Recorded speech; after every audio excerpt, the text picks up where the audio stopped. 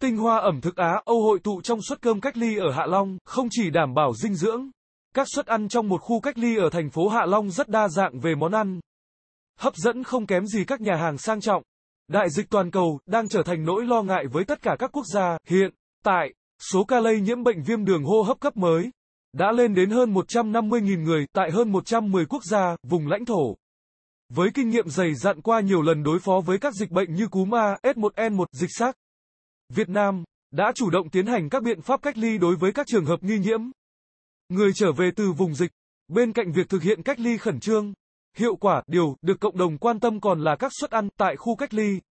Mới đây, những suất ăn của 62 người đang cách ly tại một khách sạn 4 sao khu vực bãi cháy thành phố Hạ Long, tỉnh Quảng Ninh đã khiến nhiều người ngạc nhiên vì không chỉ đầy đủ dinh dưỡng từ tinh bột, thịt cá, rau xanh mà còn cực kỳ hấp dẫn và đa dạng các món ăn từ món Á đến món Âu. Nhiều người còn cho rằng chất lượng các bữa ăn này không thua kém gì các nhà hàng sang trọng. Phía dưới video là phần bình luận dành cho bạn. Trân trọng cảm ơn quý vị và các bạn đã quan tâm theo dõi. Xin hãy cho một lượt thích chia sẻ và đừng quên bấm nút theo dõi kênh xin chào và hẹn gặp lại.